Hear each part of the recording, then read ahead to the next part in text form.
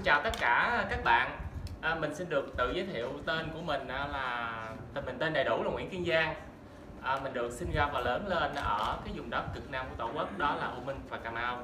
Và hiện tại thì mình đang sinh sống ở Cần Thơ. Hiện tại thì mình đã có gia đình một vợ và hai con. Thì um, mình rất vui hôm nay được làm quen với tất cả tất cả mọi người ở đây. Thì hôm nay mình gặp à, mình muốn à, làm cái đoạn clip này để mình giới thiệu với các bạn là một cái công việc hiện tại là mình đang đổi mới.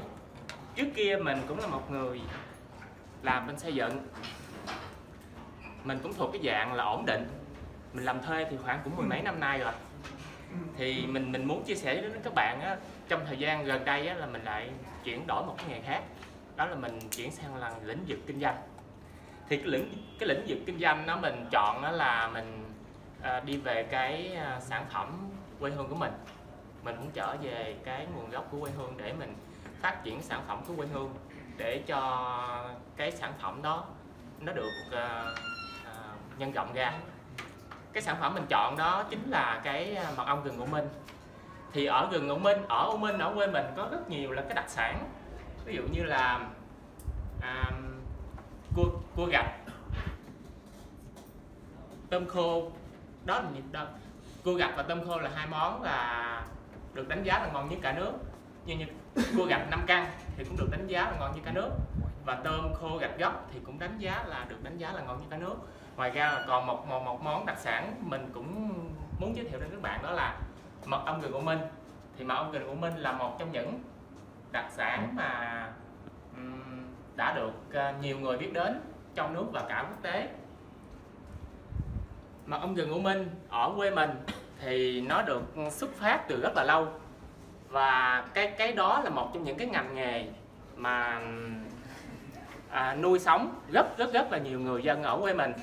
Và có rất nhiều người để à, hành nghề về à, cái à, cái cái cái cái nghề là gác kèo âm đó. Họ họ sống đã bao nhiêu năm nay? Từ thời mới có khai hoang à, mở đất ở cái vùng đất U Minh. Vùng đất u Minh là một cái vùng đất tuy trẻ nhưng mà rất là là thiên nhiên rất được ưu đãi và um, con người ở nơi đây á, thì cũng rất là chân chất và họ sống uh, rất là là là dung hòa với thiên nhiên. Và họ ngày xưa mà họ cũng ờ, à, uh, chiến, khi khi đi chiến tranh đó mà họ ờ, cũng sống được thì cũng nhờ vào những cái cánh rừng ở U Minh này những cánh rừng nguyên sinh. Và đó cho trẻ cho đã che chở cho cái người dân ở nơi đây. Chiến thắng được uh, uh, quân thù là cũng một trong những uh, uh, có cái sự đóng góp của cánh rừng của mình đó. Ok mình đã nói xong về cái phần à, à, quê hương mình thì mình muốn chia sẻ sâu hơn cái cái cái đặc sản của quê mình đó là mình chọn khởi nghiệp là mật ong gừng minh. Mật ong của minh à, là một trong những sản vật mà à, nó đã có lâu lắm rồi. À, từ thời cha của mình là mình rất yêu thích cái cái cái cái cái sản phẩm này mật ong gừng này là bởi vì mình nhận thấy được là nó rất tốt cho sức khỏe của, của con người mình. Không phải là nó à, khi mà bạn bệnh hoặc là bạn có vấn đề gì sức khỏe thì bạn mới cần đến mật ong gừng mình thật ra thì trong lúc mà bạn mạnh khỏe thì bạn vẫn phải cần mật ong gừng mình là bởi vì sao? Mà ông gừng mình nó có rất là nhiều cái chất kháng sinh. Có rất uh, có nhiều chất uh, vitamin và khoáng chất rất là tốt rất là tốt cho cơ thể của mình. Trong lúc mà bạn mặc dùng mật ong mình dùng mật ong rừng của mình á trong lúc bạn khỏe mạnh là là tại sao? Là bởi vì bạn có thể một cái cái cái chi tiết này chắc là bạn cũng ai cũng biết hết. Là nếu như mà bạn mà để cái chi phí mà bạn phòng bệnh á với cái chi phí mà bạn chữa bệnh á thì bạn nghĩ là cái chi phí này nó sẽ cao hơn. Theo một số số liệu đánh giá đó, là cái chi phí phòng bệnh á nó sẽ thấp hơn 50 lần do cái chi phí chữa bệnh và cấp cứu. Vì thế trong lúc mà bạn khỏe mạnh á thì bạn dùng cái mật ong để bạn nâng cao cái sức khỏe mình. Mật ong nó có rất rất rất nhiều cái công dụng tốt cho sức khỏe mình cũng không thể nào mà kể hết ở đây cho các bạn nghe hết. Thì dùng mật ong thường xuyên thường xuyên thì sẽ nâng cao lên cái sức khỏe mình nó rất tốt tại sao những cái người nước tại sao mật ong của mình lại xuất sang châu Âu rất là nhiều? Sản lượng ờ, tổng cộng 20 ngàn tấn mà lại xuất sang của 30 ngàn tấn mà lại xuất hết hơn 20 ngàn tấn đi châu Âu rồi. Là lý do là ở người dân châu Âu họ sử dụng mật ong cách mỗi ngày cái thói quen họ sử dụng mật ong thay đường luôn. Thành ra là à, cho nên cái người Việt mình nó có mật ong á à, thì chưa có cái thói quen để sử dụng hàng ngày hàng ngày. Thành ra là à, ở Việt Nam mình á một số bệnh ờ, tiểu đường hoặc một số như mà bệnh viện mà về ung thư rồi đó thì xây bệnh viện nào đầy bệnh viện nấy. Xây mới thì vẫn đầy. Thành ra là rất rất là nhiều bệnh nhân ở Việt Nam mình à, bệnh viện quá tải là như vậy. Thì à,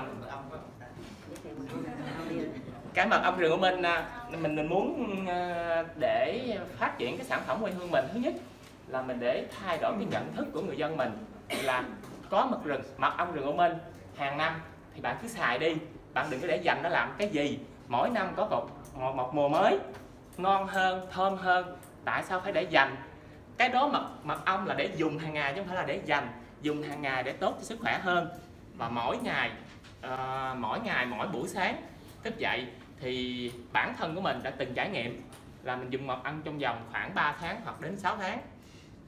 Thì nó rất tốt cho sức khỏe của mình một cái số bệnh tật mà mình nó, nó hết mà mình đến nỗi là mình không ngờ. Sau một thời gian sử dụng lâu thì mình mới ngồi mình kiểm nghiệm lại. À thì ra là là mình sử dụng mật ong mà mình hết một số cái chứng bệnh một số cái mà mình không không ngờ là mật ong nó đã giúp mình như thế.